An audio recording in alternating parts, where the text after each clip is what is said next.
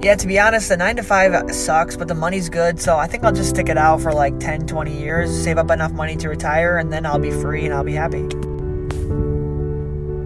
Live now. Don't wait for a future moment to be happy. Live now.